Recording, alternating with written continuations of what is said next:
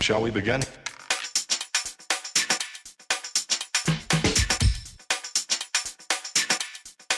Let's begin now. Всем привет! Вы на канале Кругосвет с Третьяковой. Я приглашаю вас в путешествие по Шри-Ланке. Это страна самого лучшего в мире цейлонского чая, огромных слонов и черепах, рубинов и сапфиров и, конечно, бесконечных песчаных пляжей.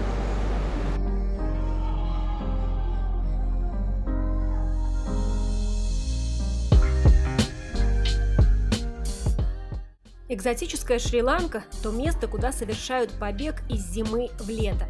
Здесь меньше туристов, чем в Таиланде, много зелени, в отличие от Арабских Эмиратов, чище, чем в Индии, а пляжи вы сами все видите.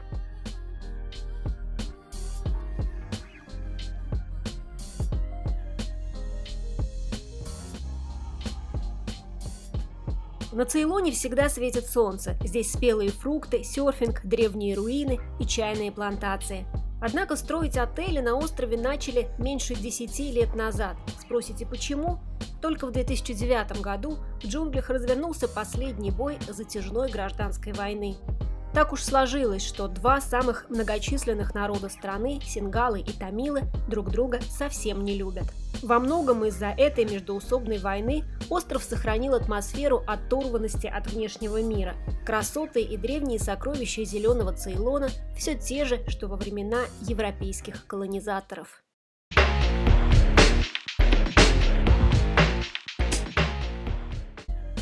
Сегодня в выпуске. В этом городе каждое утро на улицах жгут кокосы и продают цветы для богов. Чем живет Канди, древняя столица последнего сингальского царства? Храм зуба Будды, не путать с зубной феей. Эта святыня тоже исполняет желания. Пробую Шри-Ланку на вкус. Не знаю, тут килограмм перца, наверное, положили. Просто трэш. И куда нас несет? Покажу вам настоящую жизнь ланкийцев.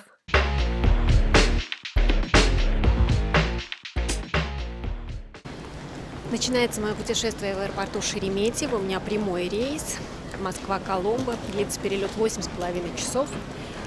А, можно купить рейс с пересадкой, лететь через Арабские Эмираты, через Шарджу или через Катар, через Доху.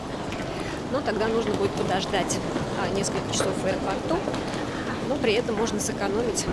Лечу я не одна, лечу со своей подругой, а с Мариной, и сейчас я вас не познакомлю. Где-то здесь у нас Марина должна быть. Так, ага, вот она. Марина! Привет! На Шри-Ланке офисному сотруднику Марине впервые предстоит взять в руки камеру и почувствовать себя оператором.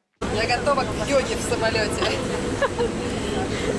Сейчас посмотрим, какая она будет через 8,5 часов довольна. Знакомство с Цейлоном начинается в самолете. Наши соседи, малыши Бьорн и Синут, летят из Германии, где они родились. На Шри-Ланке остались родственники. What is the place? It's a city. It is next to the Katunayake airport where when we are coming there. It's just uh, something around 10-15 minutes far away from the Katunayake airport. What place in Sri Lanka do you advise to visit tourists? For, for example, me and my friend. Um, there are a lot of places where you can visit. Maybe just is like um, like a Sigiriya. It's uh, like a high storm that you have to walk up to the storm. Your favorite place, your lovely place in Sri Lanka. Yes, in Sri Lanka.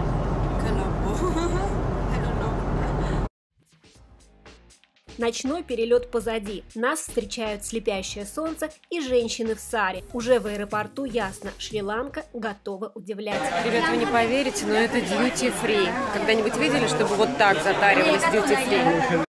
Есть несколько способов добраться из аэропорта до места назначения. А Самый бюджетный – это поехать через а, Коломн, через столицу. Оттуда ходят автобусы, поезда во все направления. А, Но нам ехать до Канди.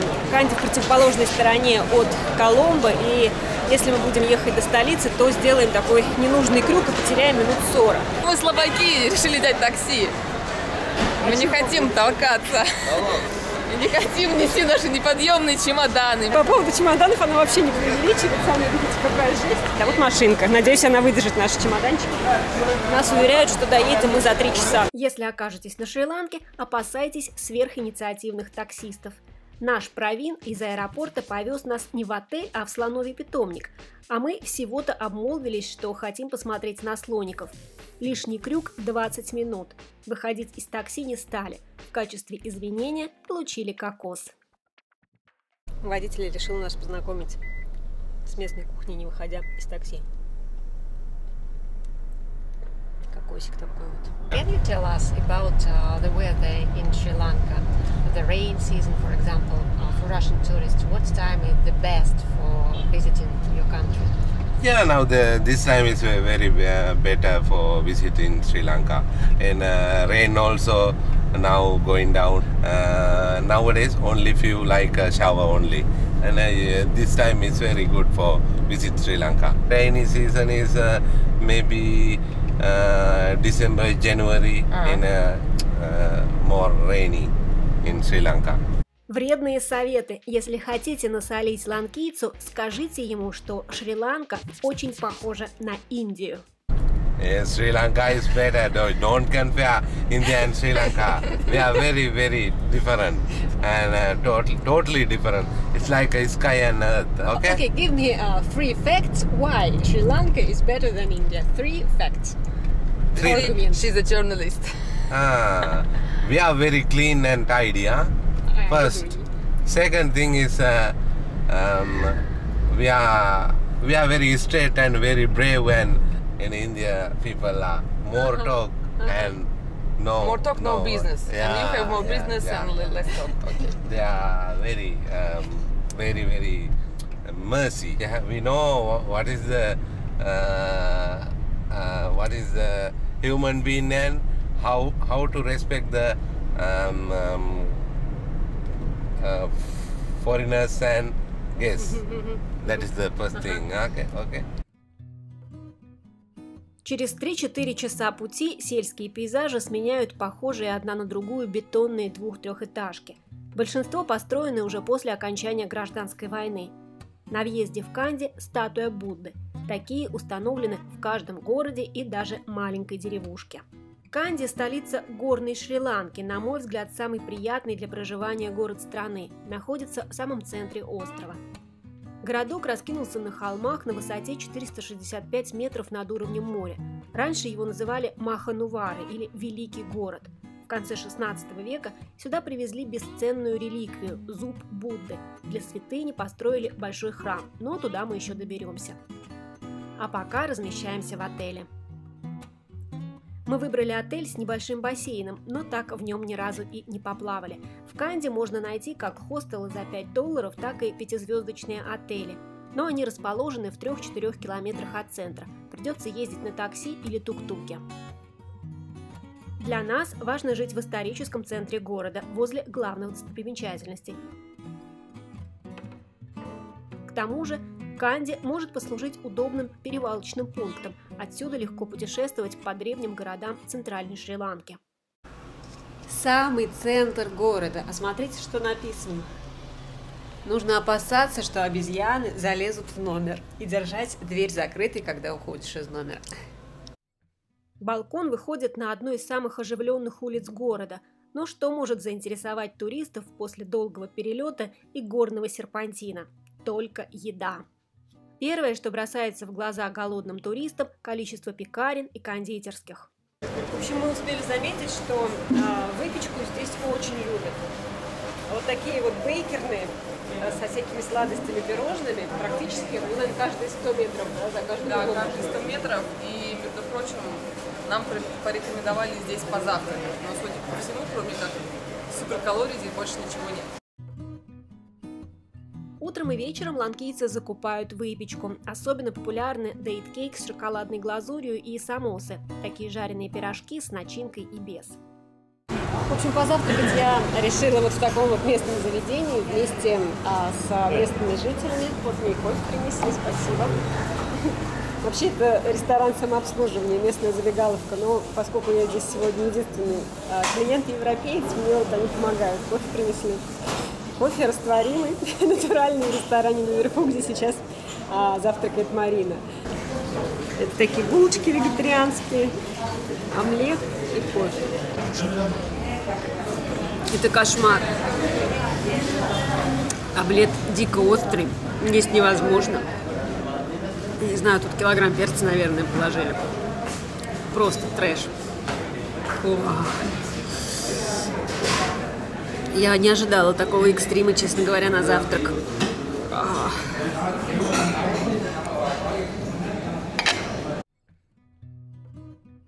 Это заведение открыто в 1886 году. Бизнес семьи Салгада начался с маленькой пекарни, а через 10 лет появились кафе и ресторан. На первом этаже остро и для местных, на втором no spicy для европейцев. Хотя и ланкийцы заглядывают. В меню есть царица всех кухонь мира, моя любимая итальянская. На Шри-Ланке готовят все – итальянскую пасту, индийский рис карри, китайскую лапшу удон. Здесь стоит попробовать рыбу и соки, но даже с соком могут быть сюрпризы. Думаете, это брокколи? Нет. Это сок из авокадо. На вкус как брокколи, но авокадо. Особый пункт в программе гурмана – вегетарианские кафе Шри-Ланки. Поверьте, это настоящий кулинарный аттракцион. Это что-то вроде огромного нашего блина а, с набором разных соусов. А, я вижу здесь а, соус какой-то бобовый, что-то вроде нута с зеленой фасолью, потом чисто овощной, морковка, там точно перец есть, вот, а, всякие тушеные такие овощи, похожие на лечек. И такая жареная штучка, типа бобовые котлеты. Вилок и ложек здесь нет, не предусмотрено. А есть придется руками. В конце марта, начале апреля Шри-Ланка радует спелыми сочными ананасами, манго, бананами и папайя. А этот незнакомец – рамбутан, растет на деревьях. За фруктами советую отправляться прямо в день или вечер прилета. Не откладывайте это удовольствие на потом. Не так, что Ой, очень мягкое. Некоторые. Uh, excuse me, what is it? Wood apple. Wood apple. Деревесное яблоко, вот это. Wood apple make a drinks, juice. Wood apple juice, yeah, with ice cream or uh, sugar. Осваиваемся в вечернем Канде. Город очень шумный. Движение бешеное. Отовсюду разный шум, машины, буддийские песнопения. Сейчас пытаюсь дорогу перейти по пешеходному переходу, ничего не нарушая. Громкие здесь даже птицы. Только послушайте эти вечерние переливы на набережной озера Канди.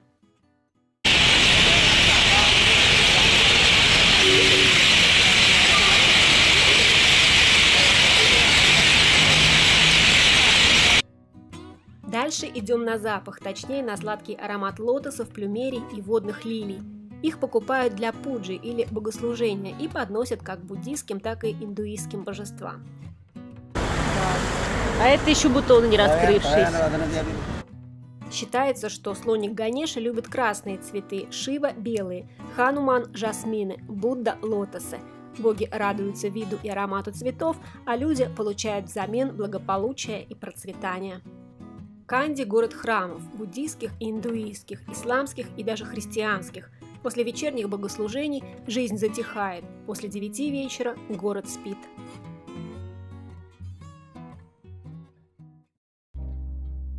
Только туристы бродят мимо витрин с манящими драгоценными камнями и самоцветами. Для любителей ночной жизни есть пабы и казино. Что, зайдем, посмотрим. Везде будет едкий табачный дым, так как большинство туристов на Шри-Ланке – немцы и англичане. А в цивилизованной Европе нет запрета на курение в общественных местах.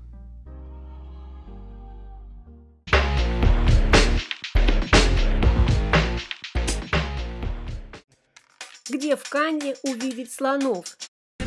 Вот в данном случае ситуация называется «Чуваки, чуваки, а как нам проехать в парк?» Я ни хрена не знаю. Доберемся до Молочного моря. Возил туда свой гарем. И, наконец, не без труда попадем в легендарный храм Зуба Будды.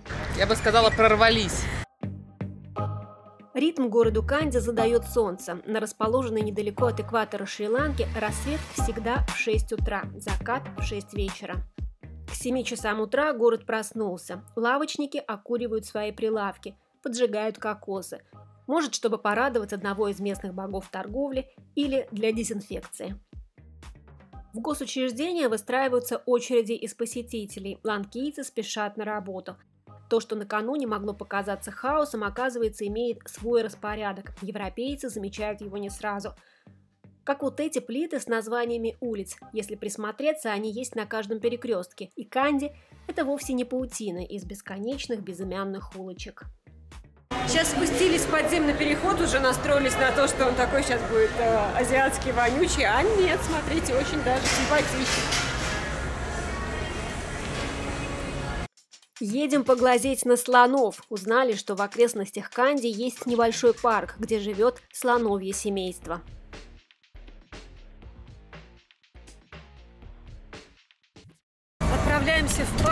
Смотреть слонов а, на местном тук-туке. Не знаю, водитель, по-моему, толком сам не понимает, есть ли там слоны и где этот парк. Последний раз ездила на тук-туке в Индии, на Гуа. Это закончилось тем, что у меня до сих пор остался шрам. Сейчас покажу, вот на локте зашивали. Потому что а, тук-тук ехал по дороге рано-рано утром, еще до рассвета и водитель не включил фары, может, там их вообще не было.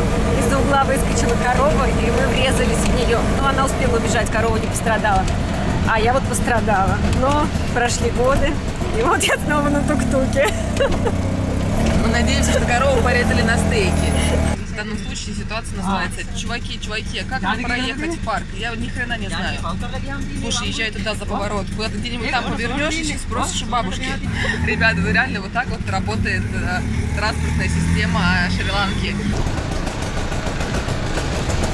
Так, указатели на слоновий парк уже есть, это радует. В результате мы добрались до заповедника, расположенного на берегу реки Махавелли или Махавелли-Ганга. Слоновье семейство, если когда-то здесь и обитало, то сейчас его точно нет. Или, может, слона-то мы и не заметили. В заповедник попали в воскресенье, когда местные приезжают сюда на отдых. Пока одни отдыхают, другие работают. Ланкийцы дедовским способом очищают дно. Махавелли – крупнейшая река Шри-Ланки. Она берет начало вблизи города Хатон, протекает через Канди, спускается с гор и впадает в Бенгальский залив. В Канди у реки и заповедника расположился жилой квартал. Мы находимся, я так понимаю, в одном из саженных таких элитных жилых районов города Канди. Здесь очень приличные дома а, кирпичные, возле каждого дома садик. Украшены дома очень в интересном стиле решеточки такие, заборчики. Ну, в общем, э, обеспеченные жители Канди, как и русские, предпочитают огораживать свою частную территорию высокими заборами. Мы, наконец, добрались до главной святыни э, города Канди, место, ради которого многие буддисты сюда, собственно, едут. Это храм э, Зуба Будды. Я бы сказала, прорвались. А, вот там находится пропускной пункт. И они реально проверяют, в чем вы сюда пришли. Обратите внимание. Марина у нас зашила свое платье, потому что ее разрез оказался слишком.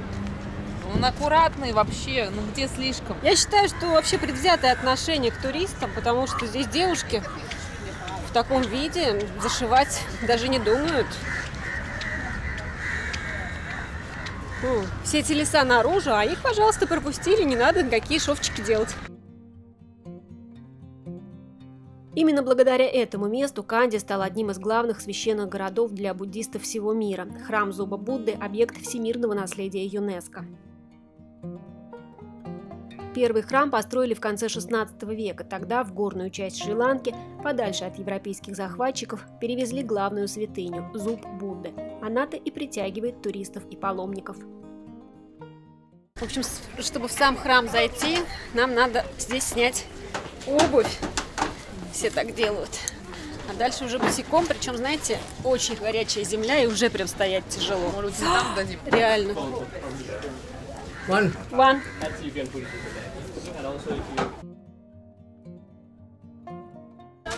Марина, быстрее, быстрее в лужу, быстрее! Можно остудить ноги перед тем, как добежать. О май гад, вы не представляете, камень просто горячий, да ужас. Через украшенный росписями коридор попадаем во двор барабанщиков, и вот перед нами двухэтажный храм. Это архитектурное сооружение датирует 17 веком, но его много раз реставрировали и перестраивали. Наверх ведет деревянная лестница. В храме прохлада, тишина и аромат лотосов. Будде и Бодхисаттвам принято подносить цветы, рис и карри, сладости. Ланкийцы – последователи Тхеравада буддизма. Он стал проникать на остров еще в начале третьего века до нашей эры. В IV веке нашей эры сюда привезли зуб Будды. Его успел забрать с погребального костра один из учеников Будды. На Шри-Ланке реликвия стала символом царской власти. Сегодня святыню хранят в зале под золотой крышей. Увидеть можно только ларец в форме ступы с копией зуба, но и здесь съемка запрещена. Чрезмерные меры безопасности не случайны. Зуб Будды несколько раз пытались похитить. В XII веке индийцы, в XVI португальские монахи и иезуиты. В годы последней гражданской войны возле храма был совершен крупнейший за всю историю острова теракт – взорван грузовик. Сейчас будем перебегать. Ёб вашу мать, ёб вашу мать. И бегом, бегом, бегом, бегом, бегом, бегом, бегом. Горячо, горячо, горячо, горячо, горячо. Все люди вокруг, они просто идут, они просто идут, им все равно.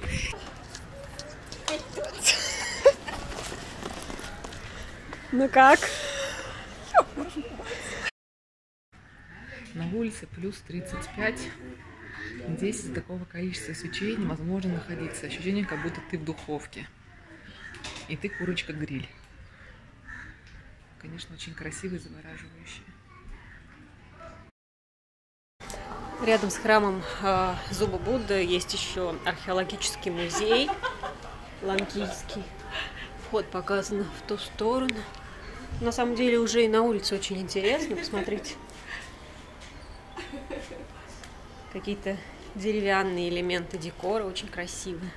Резьба по дереву, традиционная ланкийская.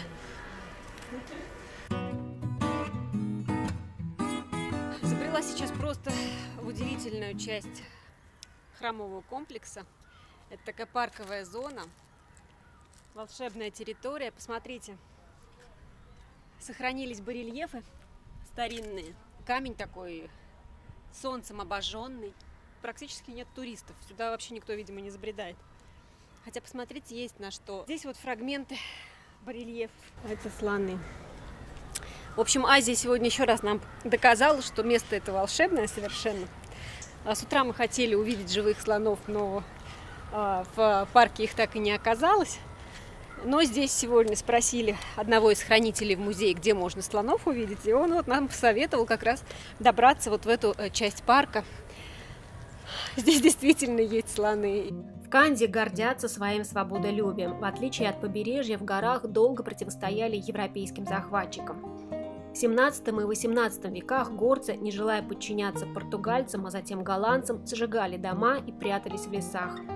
Но в 1815 году царь Шри Викрама был вынужден присягнуть английской королеве. Сегодня вот с этой башни Петирипува выступают перед народом все новоизбранные президенты Шри-Ланки, как когда-то кандийские цари. Именно царь Викрама повелел создать на месте рисовых полей озеро Канди. Это искусственный водоем. Местные называют его Киримухуда или Молочное море.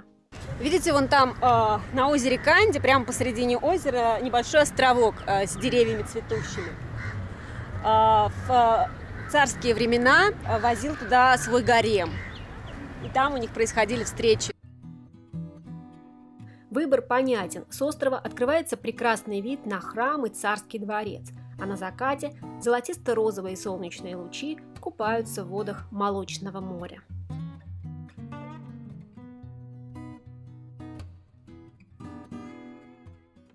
В следующих сериях вас ждут зеленые чайные плантации и рецепт эликсира долголетия, город-скала Сигирия и экстремальный подъем в пещерные храмы. И совсем озверели.